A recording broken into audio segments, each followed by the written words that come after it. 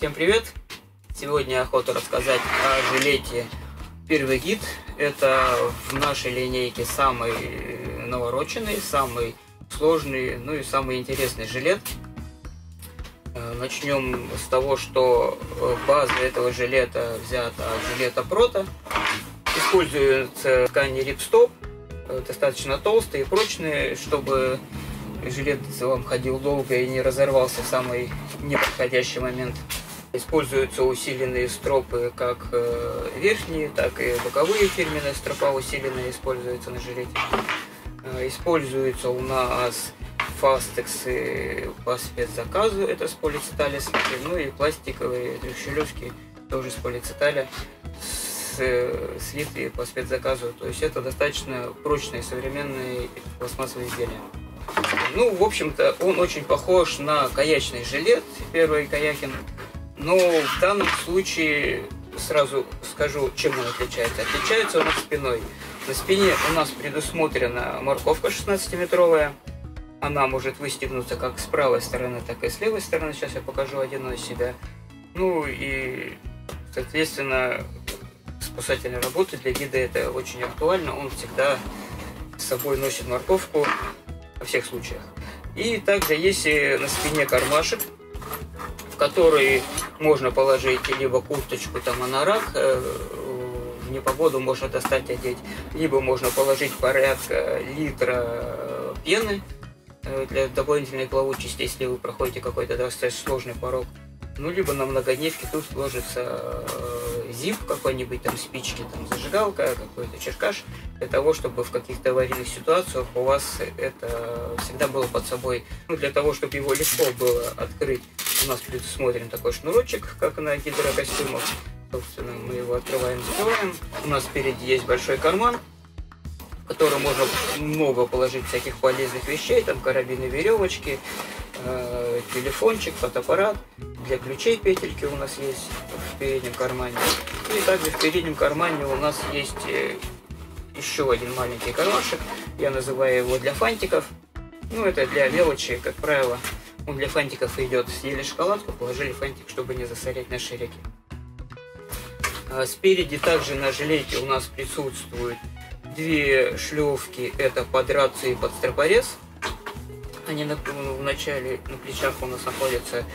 Большое кольцо, э, как правило, у нас стегивается у гида еще килевая веревка. И для этого есть колечко. Килевую веревку пропускаем через колечко, защелкиваем, и она у нас тогда никогда ни, никуда не теряется. Спереди есть также еще два дополнительных колечка для пристегивания всяких фотоаппаратов, маленьких драйбегов и прочих таких мелких деталей, когда есть необходимость э, что-то к себе пристегнуть временно. У жилета есть такие боковые крылышки.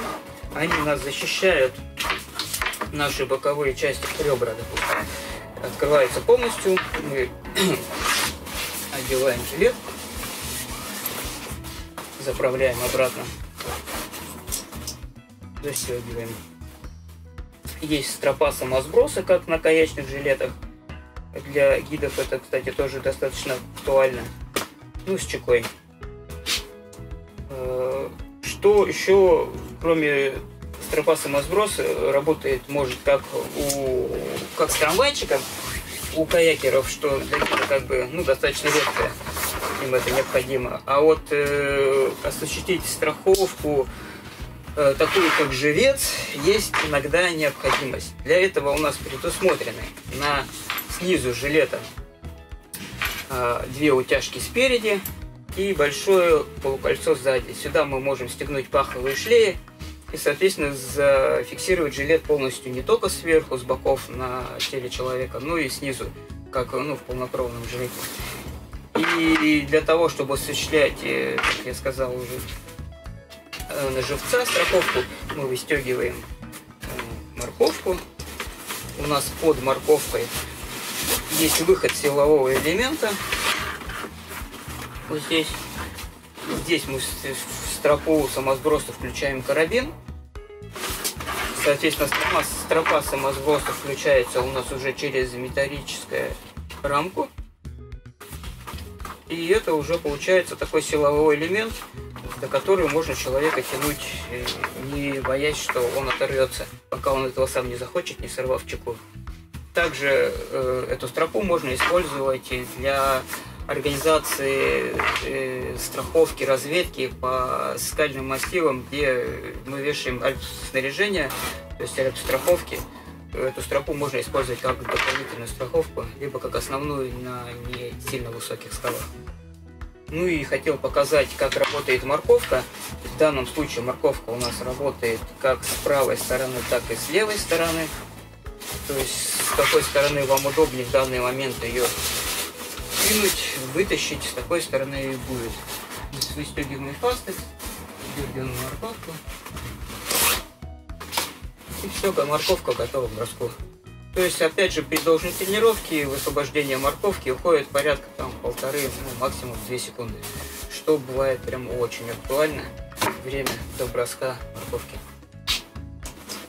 Замечательный жилет, которого нет аналогов, по крайней мере у нас в России точно.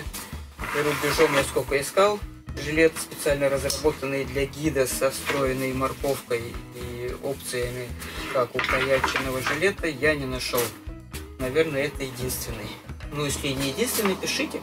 Будем рассматривать ваши варианты.